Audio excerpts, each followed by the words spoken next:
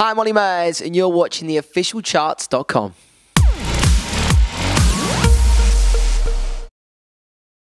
Um, no, absolutely delighted to be number one. Um, you know what? It's been a, a, big, a long eight, nine months this year, working hard on, on the album and getting it finished. So, so so happy, and thanks to all the fans for downloading it and, and streaming it and buying it.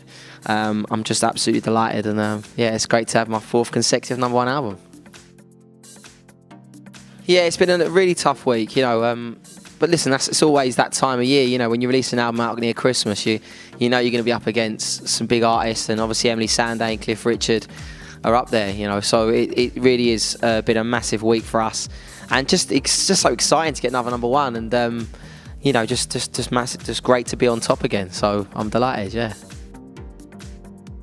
For me, when I entered this competition X Factor all them years ago, I just wanted to have one album out.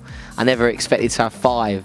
So to have four of them go number one, and actually nearly could have had five actually, it was only because of um, the amazing Take That Progress album that I couldn't get to number one that week. So back in 2010. So I'm, I'm absolutely delighted and like I say, to, to, to get you know four number one albums and be the most successful solo artist off X Factor is a, a massive achievement. So um, I'm, I'm thank you to all my fans.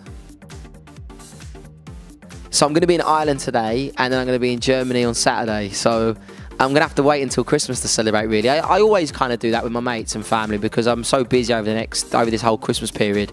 So I, I normally wait till Christmas to have the have the drinks and do it when I haven't got work the next day, so I can have a good you know good jolly up.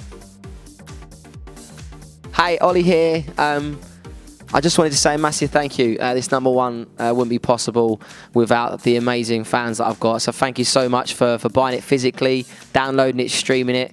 Um, it means the absolute world. Um, it's been a crazy 12 months. I'm just delighted that we've got the album out and that you guys love it and it's officially number one this week. So thank you all so, so much. And um, I'll be having a beer on you guys to celebrate. Thank you.